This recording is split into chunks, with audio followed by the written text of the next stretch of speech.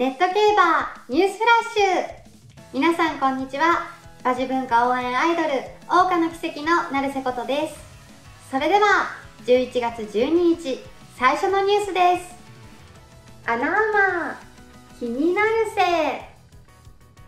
はいこちらのコーナーアナウマ気になるせでは私成瀬ことと一緒にレースの注目アナウマを探していきます。本日探していくのは11月14日日曜日阪神競馬場で行われるエリザベス女王杯の出走予定馬の中から注目アナウマを探していきたいと思います。今年の秋華賞馬赤い鳥の娘大阪杯を優勝したレイパパレ。前走オールカマーで勝ち星を挙げたウィン・マリリンなどが出走予定です。そんな中で私成瀬ことの注目アナマまず1頭目はこちら。ランブリングアレイです。今回タフな阪神 2200m というコースなのですがランブリングアレイは3走前の中山牝馬ステークスで不良馬場の中見事な差し切り勝ち。タフさを見せつけました。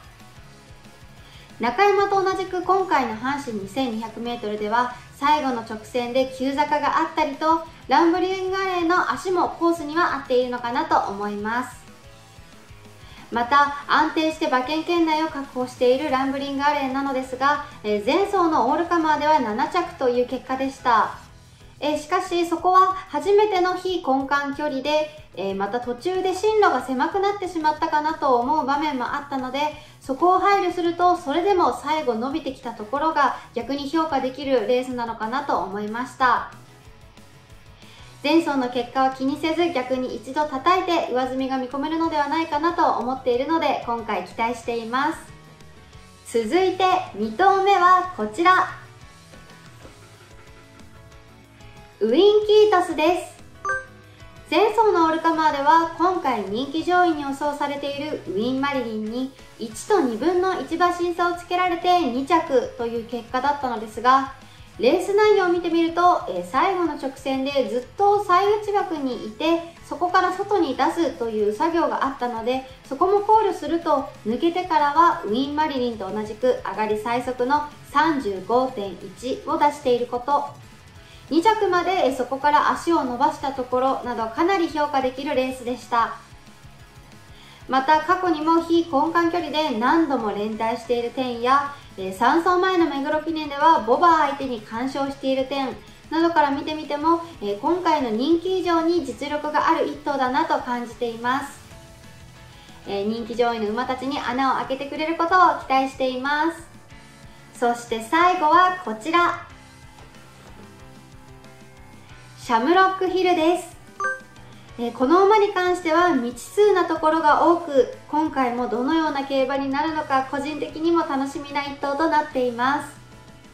え過去16戦4勝なのですが、え2着3着などは一度もなくまた勝ち星を挙げた開催場所も札幌阪神と限定的になっています。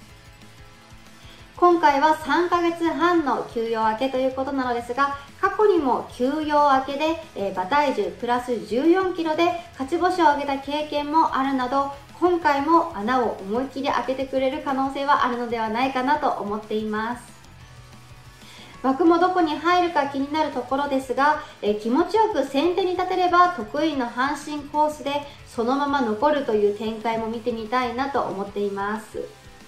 またデータ的にも過去のエリザベス女王杯では4歳馬が優勢という数字が出ているのですがこちらのシャムロックヒルも4歳馬となっています、どのようなレースになるのか今からとても楽しみです。秋の女王決定戦エリザベス女王杯皆さん一緒に楽しみましょう。以上ネット競馬ニュースフラッシュでした。